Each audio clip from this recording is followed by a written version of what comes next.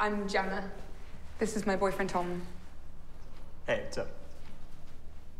Gemma and Tom. Lovely to meet you. It's lovely to meet you too, Martin. Yonder is a wonderful development. Both tranquil and practical. It has all you'd need and all you'd want.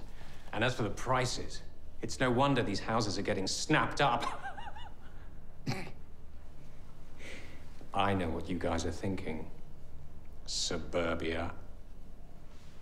But there's more to yonder than what you see in these images. We've lovely people, all sorts of people ready to move in.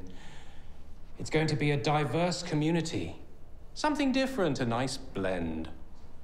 Where's it located? Near enough. And far enough. Just the right distance.